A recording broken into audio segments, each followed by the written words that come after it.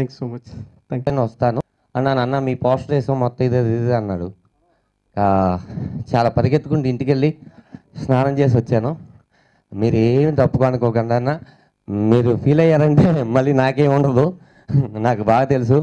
సరే నేను ఇప్పుడు కంటిన్యూ చేస్తున్నాను. మళ్ళీ ఎక్కువసేపు మీరు సోది పెట్టి మిమ్మల్ని కూర్చోబెట్టనన్నా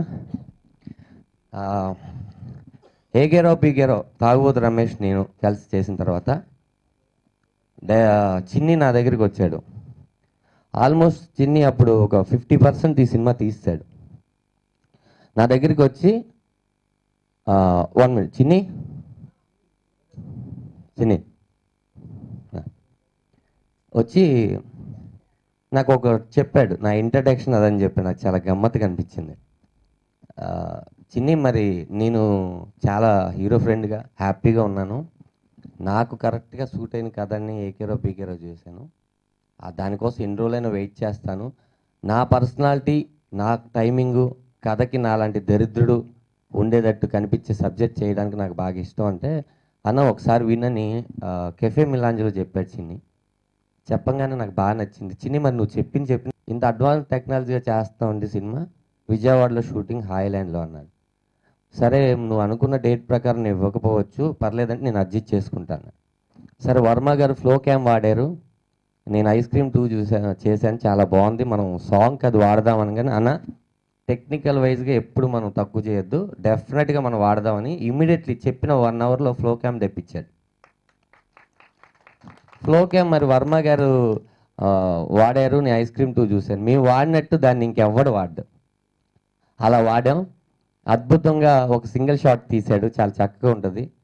తర్వాత ఇందుట్లో నాది ఒక రెండు పాటలు ఉంటాయండి. అద్భు శివశంకర్ మాస్టర్ గారు వాళ్ళ అబ్బాయి అజయ్ శివశంకర్ కంపోజ్ చేశాడు.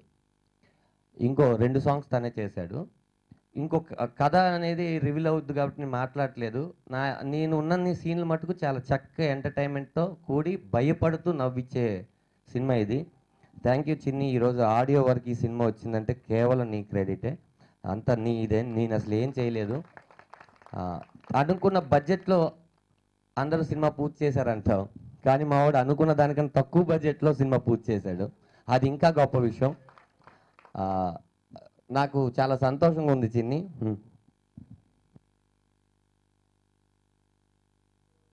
లో ఇలా నుంచొని మీ అందరి ముందు మాట్లాడుతుంటే కేవలం మీడియా.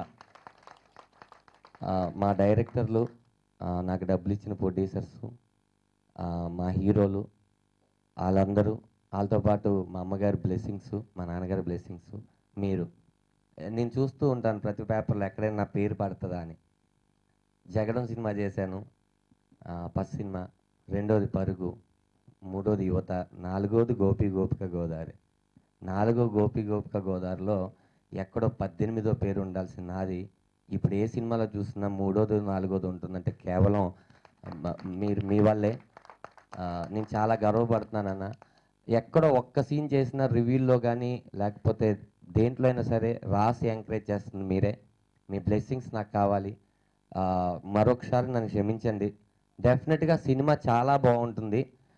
సాంగ్ అయిపోయిందా? వేస్తే ఓకే థ్యాంక్ యూ నేను నాకేం చూపిలేదు. అన్న మీరు రండి మీరు రండి మీరు ఏం తీశారు ఏంటో తీసిన తర్వాత నేను డబ్బింగ్ చెప్పి మళ్ళీ ఇప్పటి వరకు చూడలేదు. అలాగే విచ్చేసినటువంటి పెద్దలకి అలాగే మా ప్రొడ్యూసర్ సురేష్ గారికి సార్ రెడ్డి గారికి థ్యాంక్ యూ వెరీ మచ్ నేను లేట్గా వచ్చాను సార్. నన్ను పెద్ద మనసు చేసి మీ అబ్బాయిలాగా క్షమించండి. ఇంకా సోదేం చెప్పను. చాలా మంచి మ- చాలా ఎక్స్పీరియన్స్ ఉన్నాయండి. డెఫినెట్గా ఈ సినిమా రిలీజ్ రోజు మళ్ళీ పెట్టే ప్రెస్ మీట్లో ఇంకొంచెం సేపు. మీకన్నా అందరికన్నా ముందు నేనే వచ్చి నేనే యాంకరింగ్ చేసి దీన్ని ప్రమోట్ చేస్తాను. Thank you thank you very much మీ అమ్మాయిల పక్కనే ఉంటూ మిమ్మల్ని మీరు కంట్రోల్ చేసుకోలేరా? బాయ్స్ అంత వీకా? ఈ జనరేషన్లో అమ్మాయిల్ని వాళ్ళ అమ్మా నాన్నల కన్నా బాగా చూసుకుంటుంది. బాయ్ ఫ్రెండ్సే. బాయ్స్ అందరూ కదా? అమ్మాయిలు ఎవరు అబ్బాయిలకి ప్రపోజ్ చేయరు. అబ్బాయిలకి చాలా ఆల్టర్నేటివ్స్ ఉన్నాయి. మనకి బాయ్స్ తప్ప వేరే ఆప్షన్ లేదు.